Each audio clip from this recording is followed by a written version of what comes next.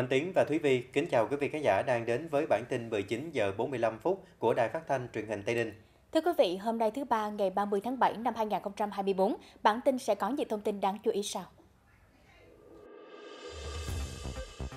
Triển khai thực thi các luật nghị quyết của hội khóa 15. Báo chí tích cực tham gia truyền thông chính sách. Doanh thu du lịch Tây Ninh tăng trưởng đáng kể. Tây Ninh sẵn sàng cho đại hội mặt trận tổ quốc cấp tỉnh. Nông dân, phụ nữ, thanh niên Tây Ninh tự tin khởi nghiệp trong thời đại 4.0.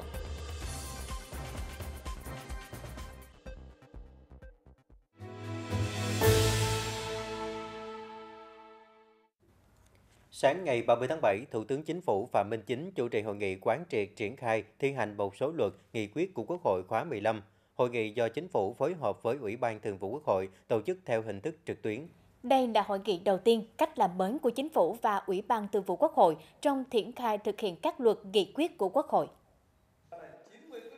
Phát biểu khai mạc, Thủ tướng Phạm Minh Chính nhấn mạnh xây dựng và hoàn thiện thể chế là một trong ba đột phá chiến lược, chủ trương lớn của Đảng và Nhà nước. Từ đầu nhiệm kỳ đến nay, Chính phủ đã tổ chức 28 phiên họp chuyên đề về xây dựng pháp luật, cho ý kiến xem xét, thông qua đối với hơn 100 đề nghị xây dựng luật, dự án luật, ban hành hơn 380 nghị định. Thủ tướng Chính phủ đã ban hành gần 90 quyết định quy phạm pháp luật. Tại kỳ họp thứ bảy, Quốc hội thông qua 11 luật, 2 nghị quyết quy phạm, một nghị quyết về chương trình xây dựng luật pháp lệnh năm 2025, điều chỉnh chương trình xây dựng luật pháp lệnh năm 2024 và chính nghị quyết điều hành kinh tế xã hội. Chính phủ đã quyết tâm cao, nỗ lực lớn, hành động quyết liệt, hiệu lực, hiệu quả, chủ động thực hiện đồng bộ nhiều giải pháp với những cải tiến, đổi mới thiết thực trong công tác xây dựng pháp luật, tập trung tháo gỡ ngay các khó khăn vướng mắt, điểm nghẽn cản trở sự phát triển, nhất là trong lĩnh vực đất đai, hạ tầng, đầu tư kinh doanh. Thủ tướng yêu cầu hội nghị tập trung trí tuệ, tiếp tục tinh thần đổi mới, trình bày báo cáo tham luận, phát biểu về những vấn đề quan trọng, đề xuất giải pháp khả thi thiết thực, góp phần tiếp tục tăng cường sự phối hợp, tạo sự đồng bộ, thống nhất giữa các cơ quan nhằm tiếp tục nâng cao chất lượng công tác triển khai, bảo đảm đưa luật nghị quyết của Quốc hội vào cuộc sống, góp phần thúc đẩy phát triển kinh tế xã hội, tăng cường kiểm soát quyền lực, phòng chống tham nhũng tiêu cực trong công tác xây dựng pháp luật. Theo báo cáo của Ủy ban Nhân dân tỉnh, trong 2 năm qua, các cơ quan thông tin báo chí trên địa bàn tỉnh đã tham gia tích cực và đạt một số kết quả đáng ghi nhận trong công tác truyền thông chính sách. Sau 2 năm, tỉnh Tây Ninh thực hiện quyết định số 407 của Thủ tướng Chính phủ phê duyệt đề án tổ chức truyền thông chính sách có tác động lớn đến xã hội trong quá trình xây dựng văn bản quy phạm pháp luật giai đoạn 2022-2024. Trong đó, các cơ quan báo chí trong tỉnh đã thực hiện tốt công tác này. Đài Phát thanh và Truyền hình Tây Ninh đã thực hiện gần 70 số chuyên mục truyền thông chính sách phát sóng trên sóng phát thanh, sóng truyền hình và các hạ tầng số của đài. Các chuyên mục khác của đài cũng đã tập trung truyền thông chính sách tích cực hiệu quả. Báo Tây Ninh đăng tải 85 tin bài, media, clip liên quan đến truyền thông chính sách. Thời gian tới, Ủy ban nhân dân tỉnh tiếp tục chỉ đạo đa dạng hóa các hoạt động truyền thông chính sách bằng các hình thức phù hợp hiệu quả, nhất là ứng dụng công nghệ thông tin, chuyển đổi số, nâng cao hiệu quả truyền thông chính sách. Thưa quý vị, tính đến cuối tháng 7 năm 2024, doanh thu từ các hoạt động du lịch, dịch vụ lưu trú và ăn uống đã có những bước tăng trưởng đáng kể, ước đạt hơn 2.000 tỷ đồng, tăng 0,62% so với tháng trước và tăng 9,13% so với cùng kỳ năm 2023. Trong đó, doanh thu từ dịch vụ lưu trú ước đạt 32,9 tỷ đồng, tăng 0,48% so với tháng trước. Riêng doanh thu từ dịch vụ lữ hành đạt 1,56 tỷ đồng, tăng 0,84% so với tháng trước. Tính chung trong 7 tháng năm 2024, tổng doanh thu từ các hoạt động lưu trú, ăn uống, du lịch lữ hành và các dịch vụ khác đạt 14.560 tỷ đồng, tăng 10,54% so với cùng kỳ năm trước. Trong đó, doanh thu từ dịch vụ lưu trú ước đạt 224 tỷ đồng, tăng 16,14%. Doanh thu từ dịch vụ ăn uống đạt 8.133 tỷ đồng, tăng 13,15%. Doanh thu từ dịch vụ lữ hành đạt 10,79 tỷ đồng, tăng 21,82%. Những số liệu cho thấy ngành du lịch đang trở thành một trong những ngành kinh tế quan trọng và đóng góp tích cực vào các chỉ tiêu thu ngân sách của tỉnh.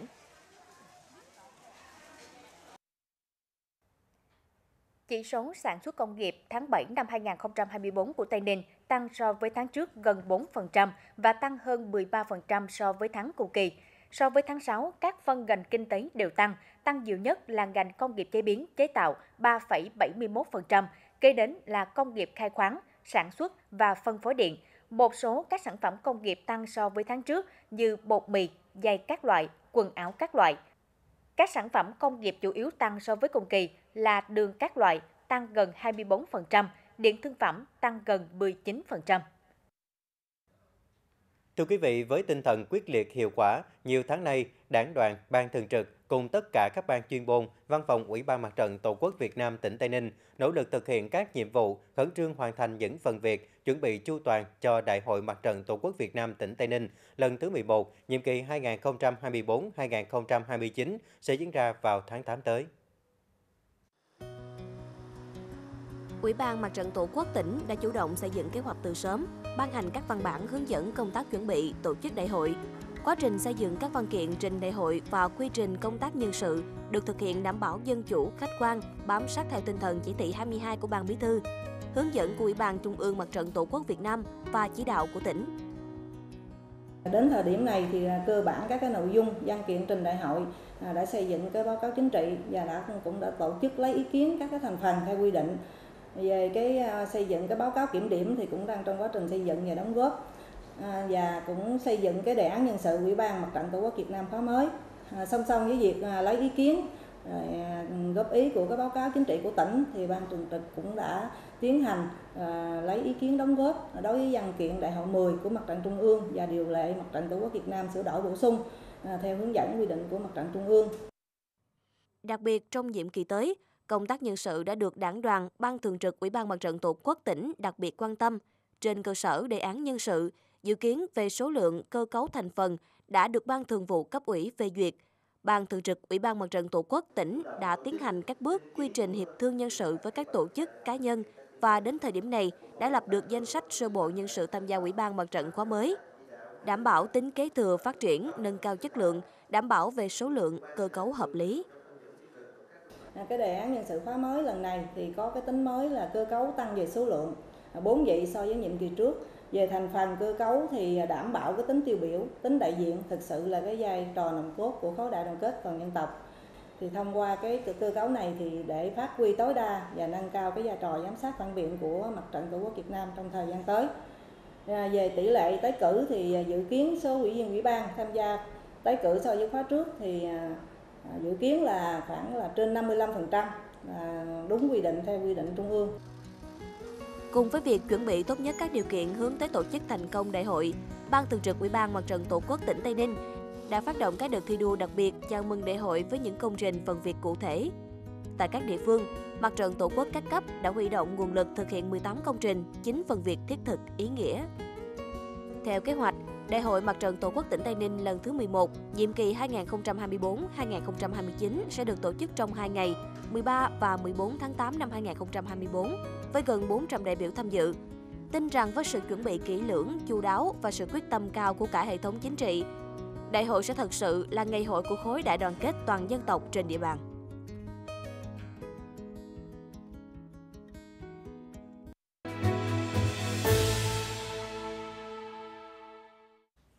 Thưa quý vị, sáng ngày 30 tháng 7, Liên minh Hợp tác xã tỉnh Tây Ninh tổ chức hội nghị Ban chấp hành lần thứ 9 khóa 6, nhiệm kỳ 2020-2025 và sơ kết hoạt động 6 tháng đầu năm, đề ra nhiệm vụ trọng tâm 6 tháng cuối năm 2024.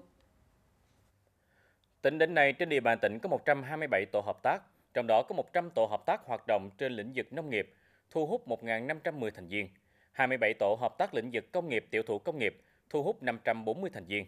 Toàn tỉnh hiện có 186 hợp tác xã quỹ tín dụng nhân dân, trong đó có 30 hợp tác xã ứng dụng công nghệ cao và liên kết với doanh nghiệp sản xuất theo chuỗi giá trị sản phẩm. Liên minh Hợp tác xã tỉnh được Ủy ban dân tỉnh giao thực hiện đề tài khoa học cấp tỉnh, xây dựng mô hình hợp tác xã nông nghiệp gắn với du lịch nông thôn đạt chuẩn ô cớp giai đoạn 2023-2025 đã mang lại những kết quả khả quan, góp phần đa dạng hóa sản phẩm và nâng cao giá trị gia tăng. Các đại biểu cũng đã tích cực thảo luận đóng góp ý kiến đưa ra nhiều giải pháp thiết thực và các nhiệm vụ quan trọng để các tổ chức kinh tế hợp tác khắc phục khó khăn, hoạt động hiệu quả trong 6 tháng cuối năm. Sáng ngày 30 tháng 7, Ban chỉ đạo liên ngành về vệ sinh an toàn thực phẩm tỉnh do bà Trần Thị Ngọc Nương, Phó Giám đốc Sở Y tế Tây Ninh làm trưởng đoàn, đã có buổi giám sát hoạt động vệ sinh an toàn thực phẩm 6 tháng đầu năm 2024 tại Ủy ban Nhân dân huyện Dương Minh Châu. Trong 6 tháng đầu năm 2024, trên địa bàn huyện Dương Minh Châu không ghi nhận trường hợp ngộ độc thực phẩm. Về công tác kiểm tra, Ban chỉ đạo liên ngành về vệ sinh an toàn thực phẩm huyện Dương Minh Châu tổ chức 3 đợt kiểm tra đối với 228 cơ sở. Đoàn giám sát Ban chỉ đạo liên ngành về vệ sinh an toàn thực phẩm tỉnh đề nghị trong thời gian tới, huyện Dương Minh Châu cần tăng cường tổ chức tuyên truyền hiệu quả về đảm bảo an toàn thực phẩm cho người dân trên địa bàn huyện, đặc biệt là tuyên truyền về nội dung ngộ độc do độc tố nấm cho người dân, chú trọng những hộ gia đình tại các xã Phước Ninh, Phước Minh và lưu ý các bếp ăn tập thể tại các trường học. Để triển khai các hoạt động hưởng ứng Ngày Thế giới phòng chống mua bán người và Ngày Toàn dân phòng chống mua bán người 30 tháng 7 với chủ đề của năm 2024 là không trẻ em nào bị bỏ lại phía sau trong cuộc chiến phòng chống mua bán người, Công an Tây Ninh đã tổ chức các hoạt động quyết liệt đấu tranh phòng chống mua bán người trên địa bàn tỉnh. Để triển khai hoạt động hưởng ứng Ngày Thế giới phòng chống mua bán người và Ngày Toàn dân phòng chống mua bán người 30 tháng 7, Công an tỉnh triển khai đợt cao điểm tấn công trấn áp tội phạm mua bán người trên địa bàn tỉnh từ ngày 1 tháng 7 năm 2024 đến 30 tháng 9 năm 2024 theo chỉ đạo của Bộ Công an. Năm nay thì Công an tỉnh đã tham mưu Ủy ban tỉnh công dân chỉ đạo về hưởng ứng cái ngày Thế giới phòng chống mua bán người và ngày toàn dân phòng chống mua bán người với chủ đề là năm 2024 không để trẻ em nào bỏ lại phía sau trong cuộc chiến phòng chống mua bán người. Trong đó chỉ đạo lực lượng công an, biên phòng thì triển khai đợt cao điểm tấn công trấn áp tội phạm mua bán người từ ngày 1 tháng 7 đến ngày 30 tháng 9. Qua công tác phối hợp, hai lực lượng công an và biên phòng đã xác lập hai chuyên án đấu tranh với nhóm đối tượng mua bán người sang Campuchia qua cửa khẩu Mộc Bài. Kết quả bắt khởi tố 7 đối tượng về hành vi mua bán người, giải cứu 9 nạn nhân, trong đó có một nạn nhân từ Malaysia. Ngoài ra, hai lực lượng còn phối hợp tiếp nhận xác minh trên 1.400 công dân Việt Nam do lực lượng chức năng Campuchia trao trả về nước. Qua đó, phát hiện 3 đối tượng truy nã, 22 đối tượng truy tìm của công an các tỉnh, thành phố trên toàn quốc. Hai bên còn phối hợp tuần tra biên giới, phòng chống tội phạm trên tuyến biên giới và xuất nhập cảnh trái phép. Riêng Phòng Cảnh sát Hình sự Công an tỉnh cũng đã chủ động phối hợp với lực lượng Bộ đội Biên phòng tỉnh và lực lượng chức năng Campuchia bắt khởi tố hai vụ, 10 đối tượng về hành vi mua bán người, lừa đảo chiếm đoạt tài sản trên không gian mạng. Trong đó, hai đối tượng cầm đầu tuyển chọn người Việt Nam đưa sang Campuchia bán vào các công ty lừa đảo của người Trung Quốc để hoạt động phạm tội. Hiện đang tiếp tục điều tra mở rộng hành vi mua bán người. Trong xã hội ngày nay thì có những người thì ờ, thích là có một cái ờ, lương cao, ờ, không cần phải làm nhiều. Nhưng mà cái vấn đề đó, cái lương cao đó có tô điểm được cái cái nhân cách và cái phẩm chất của mình hay không? Thì cái đó là cái quan trọng. À, bởi vì lao động là để sinh nhai lao động thể hiện được cái năng lực và cái bản chất của của một con người. À, đối với bản thân thì khi mà chọn một công việc thì chắc chắn là mình sẽ phải tìm hiểu rất là kỹ. Từ năm 2016, Việt Nam lấy ngày 30 tháng 7 hàng năm là ngày toàn dân phòng chống mua bán người theo quyết định số 793 của Thủ tướng Chính phủ nhằm phát huy sức mạnh tổng hợp của cả hệ thống chính trị và toàn dân tham gia phòng ngừa, ngăn chặn, tiến tới đẩy lùi tội phạm mua bán người trên phạm vi toàn quốc. Ngày toàn dân phòng chống mua bán người, hãy cảnh giác trước cạm bẫy của kẻ buôn người. Phòng Cảnh sát Phòng cháy chữa cháy và Cứu nạn Cứu hộ Công an tỉnh Tây Ninh cho biết vừa phối hợp với Ban Quản lý Khu du lịch quốc gia núi Bà Đen đưa 4 du khách đi lạc đường và đuối sức xuống chân núi Bà Đen an toàn. Trước đó, lúc 20 giờ 20 phút ngày 28 tháng 7, Trung tâm tiếp nhận xử lý thông tin báo cháy và sự cố tai nạn, Phòng Cảnh sát Phòng cháy chữa cháy và Cứu nạn Cứu hộ Công an tỉnh Tây Ninh nhận được yêu cầu hỗ trợ từ Ban Quản lý Khu du lịch quốc gia núi Bà Đen đưa nhóm 4 du khách xuống núi bị lạc đường và đuối sức, trong đó có một người té ngã, bị thương ở chân, không thể tự di chuyển, xuống chân núi Bà Đen, thuộc địa phận phường Ninh Sơn, thành phố Tây Ninh, tỉnh Tây Ninh. Ngay lập tức, Phòng Cảnh sát Phòng cháy chữa cháy và Cứu nạn Cứu hộ xuất một xe ô tô cùng 14 cán bộ chiến sĩ tham gia cứu hộ.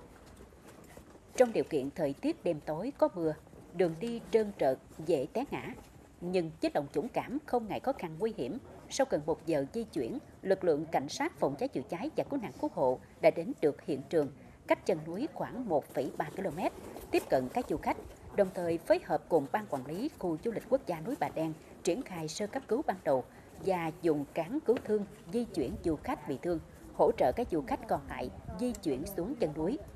Đến 23 giờ cùng ngày, các du khách đã được đưa đến chân núi an toàn. Du khách bị thương được đưa đến Bệnh viện Đa khoa Tây Ninh để điều trị. Một người trong nhóm cho biết nhóm có 4 người đi tham quan tại khu du lịch quốc gia núi Bà Đen. Khoảng 16 giờ ngày 28 tháng 7, cả nhóm từ đỉnh núi đi theo đường mòn xuống núi, không ai bị lạc đường và đuối sức. Ngày 30 tháng 7, tại Trung tâm Học tập Sinh hoạt Thanh thiếu nhi Tây Ninh diễn ra Ngày hội Nông dân Phụ nữ khởi nghiệp sáng tạo năm 2024 với chủ đề Nông dân Phụ nữ Thanh niên Tây Ninh tự tin khởi nghiệp trong thời đại 4.0. Ngày hội thu hút hơn 200 cán bộ, hội viên nông dân, phụ nữ, thanh niên có ý tưởng khởi nghiệp, hội viên có nhu cầu khởi sự kinh doanh tham gia. Ngày hội được tổ chức nhằm tạo sân chơi để các doanh nghiệp, nông dân, phụ nữ và thanh niên đam mê khởi nghiệp được gặp gỡ giao lưu học tập và chia sẻ kinh nghiệm trên mọi lĩnh vực, đồng thời tìm kiếm và nâng cao công nghệ thời đại 4.0 trong cộng đồng, cũng như quảng bá các sản phẩm khởi nghiệp, các sản phẩm ô cốp của địa phương. À, nhằm mục đích để nâng cao nhận thức cho à, cán bộ hội nông dân hội các cấp và đoàn viên hội viên à, hiểu được cái tinh thần về khởi nghiệp đổi mới sáng tạo và qua đó sẽ tham gia mạnh mẽ các phong trào đổi mới khởi nghiệp sáng tạo của tỉnh góp phần sẽ tạo nên nhiều nhân tố mới à, gương nhiều gương tiêu biểu và góp phần phát triển kinh tế hộ gia đình và kinh tế xã hội của địa phương.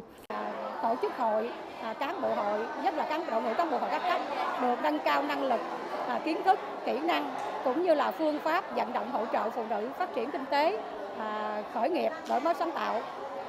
Rồi từ đó chị em sẽ vận dụng một cách hiệu quả cái công việc này vào tình hình thực tế địa phương của mình. Qua đó góp phần nâng cao cái uy tín cũng như là chất lượng của tổ chức hội thu hút ngày càng đông đảo hội viên, phụ nữ tham gia tổ chức hội và sinh hoạt hội trong khuôn khổ ngày hội với 32 gian hàng trưng bày giới thiệu sản phẩm ô cốp, sản phẩm khởi nghiệp như trái cây, gạo, muối ớt, rượu, bánh tráng, các gian hàng đã giới thiệu những sản phẩm tiềm năng lợi thế của địa phương, đồng thời tuyên truyền những lợi ích việc ứng dụng công nghệ thông tin, mạng xã hội trong hoạt động khởi nghiệp, góp phần mở rộng thị trường, đưa nhiều sản phẩm của địa phương đến người tiêu dùng trong và ngoài tỉnh. Là ngay chỗ hàng năm, với Hội nông dân tỉnh, Hội Liên hiệp Phụ nữ và Thanh niên tổ chức nhiều hoạt động hơn nữa, nhất là cái trưng bày các sản phẩm do nông dân làm ra. Đây là một phần ờ, để quảng bá, đồng thời là để cái chỗ ờ, nông dân càng ngày với các ờ, đoàn và thanh niên và hội phụ nữ càng ngày là ngay cái chỗ phấn khởi, nhất là cái cái sản phẩm được các hội biểu dương ngày hôm nay.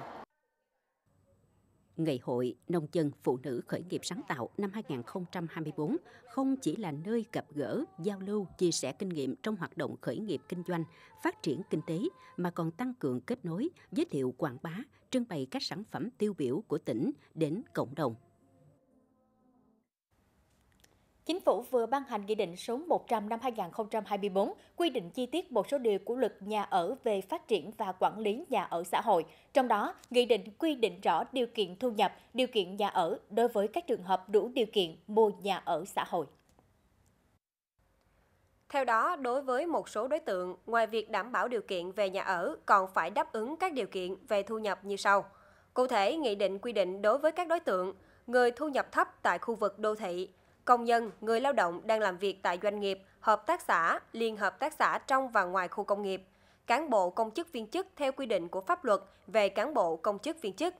cần đảm bảo các điều kiện về thu nhập như sau. Trường hợp người đứng đơn là người độc thân thì có thu nhập hàng tháng thực nhận không quá 15 triệu đồng. Trường hợp người đứng đơn đã kết hôn, theo quy định của pháp luật thì người đứng đơn và vợ chồng của người đó có tổng thu nhập hàng tháng thực nhận không quá 30 triệu đồng. Những thông tin vừa rồi cũng đã khép lại bản tin lúc 19 giờ 45 phút của Đài Phát thanh Truyền hình Tây Ninh. Cảm ơn sự chú ý quan tâm theo dõi của quý vị và các bạn. Xin kính chào tạm biệt và hẹn gặp lại.